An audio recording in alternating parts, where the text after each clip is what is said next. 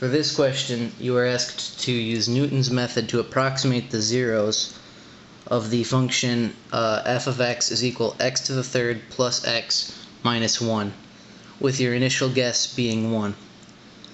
Um, first step you need to do, before you can even really solve for much anything in this, is you have to find your derivative of your initial function.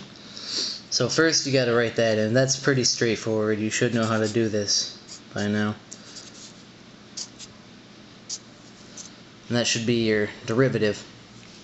Now to solve for your first guess, for the first after the first iteration using Newton's method, um, basically what you have to do, you have to plug uh, your first guess, which is 1, that's given, into the function for iterations, which is as follows. It is x2 well x sub 2 is equal to x sub 1 minus f of x 1 over f prime x sub 1.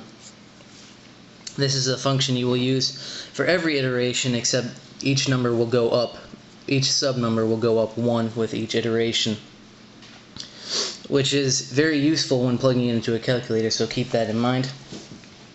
Um, so first off, you have to put, put piece your function together really before you can plug anything in. So this should be equal to your initial guess, which in this case will be 1. I'll, I'll just write it as x1 though. Still. And then f of x on top, so it should be x to the third plus x minus 1. And that should be over your f prime x, which is 3x squared plus 1. Now, the numbers you plug in for each x, you can, in your calculator, all you have to do is press answer after you have already plugged in 1 for your previous answer. I'll show you how.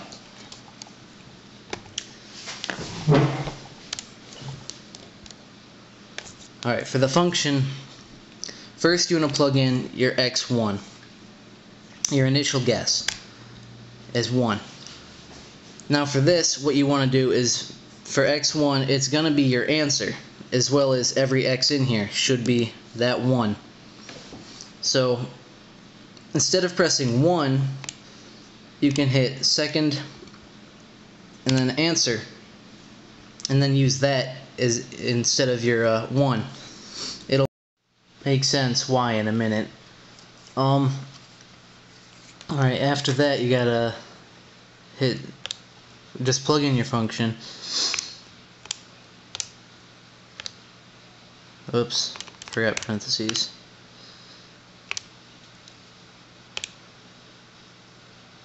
Oh yeah, you can't be using X. Keep using answer instead of X.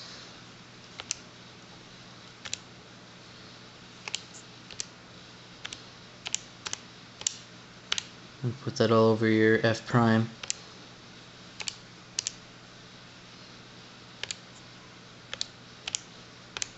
Alright, now hitting enter on this will give you your first iteration or your x2 which will be 0.75. Now all you have to do to get your x3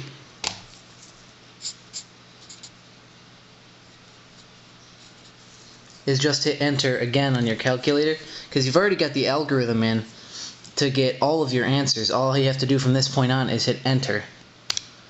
And your second uh, iteration is going to be 0.6860465116. But in the question it tells you to round to the nearest thousandth of a decimal place. So you can just put the first four digits, which was 0.6 eight, six. Well, point first three rather. And then to get your third iter iteration, you gotta get your x4, which will be approximate. Just to enter again on your calculator.